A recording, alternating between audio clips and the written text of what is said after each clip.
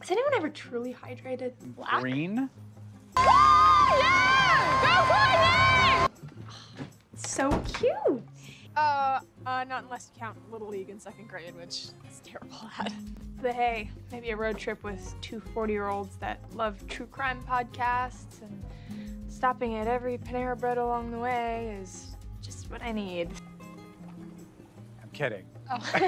I'm kidding. You never know.